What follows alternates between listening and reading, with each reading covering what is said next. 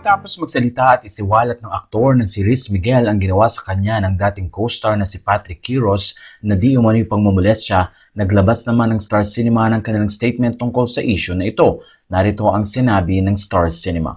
ABS-CBN Films October 12, 2022. Contrary to the claims made by Riz Miguel on 11 October 2022, ABS-CBN Film Productions Incorporated or AFPI immediately conducted an investigation upon receiving his complaint in December 2020 and swiftly took appropriate action to protect the rights of everyone involved.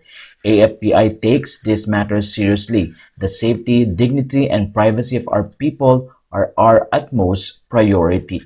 Matatanda ang ilan din na nagsabi na tinanggal si Patrick sa nasabing show matapos mangyari ang insidente. Samantala sa puntong ito ay nalinawan na hindi nagsisinungaling si Riz Miguel tungkol sa akusasyon niya kay Patrick Quiros. Ilang mga kaibigang artista din ang sumuporta kay Riz at sinabi din ang kanilang naging karanasan sa kamay ni Patrick. Kwento ni Urgil Jeric Panganiban, Finally, nagsalita ka rin, brother Riz Miguel. Kala ko kakalimutan na lang natin. Saksi kami niyan sa HIH and tinry niya din kami maging victim but he failed. Makikitulog daw siya etc. sa room namin sa lock and taping kasi close na pinto nila and nung tulog ako nag-attempt siya halikan ako and do his thing. Namiss ko lang kuya ko, yan sabi niya sa akin. And after noon, di na ako nakatulog kahit may shoot kinabukasan. Yes, kaya mukhang puyat nung HIH. Wala talagang tulugan para bantayan tong manyak na to. Tama ka na Patrick Quiros. Isang usapan din ang pinakita ni Virgil na kung saan ay tila nightmare ang karanasan nila sa kamay ni Patrick Quiros.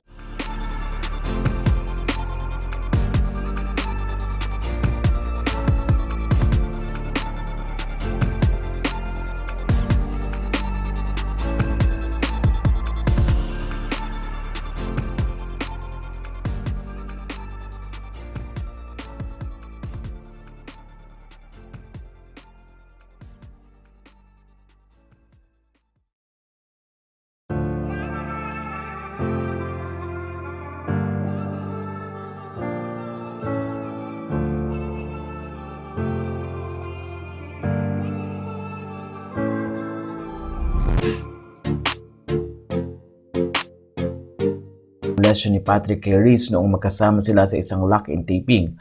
Kwento ni Reese na hindi lang siya ang nakaranas ng pamumulesya kundi ang mga ibang kasama din niya na artista. Na ikwento pa ni Reese na meron daw ni rape si Patrick. Ayon kay Reese, sinabi niya ito sa production team pero sinabihan siya na tumahimik muna dahil may ilang araw na lang ang natitira para matapos ang shooting nila.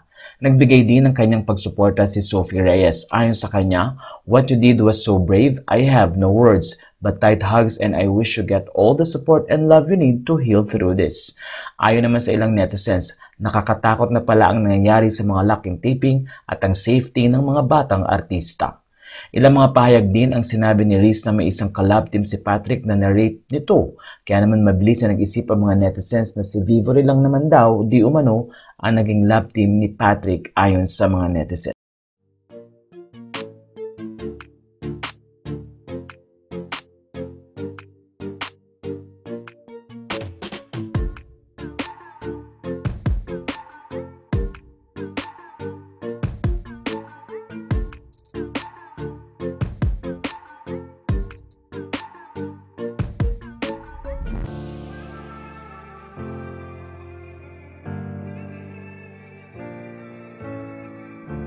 Matatandang si Patrick Quiros ay dating kapamilya star at ngayon ay nasa GMA na.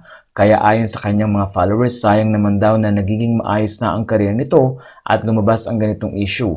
Sigaw naman ng ilang mga netizens na tuluyan ng iban o wag nang bigyan ng proyekto ang nasabing aktor para maiwasan ang mga ganitong insidente. Ilan din na nagsabi na sampahan ng kaso para huwag di umanong pamarisan lalo na't mga kabataan ang fans nito. Nakadisable naman na ang comment section sa Instagram ni Patrick Quiros at wala pa siyang sinasabing statement tungkol sa issue na to.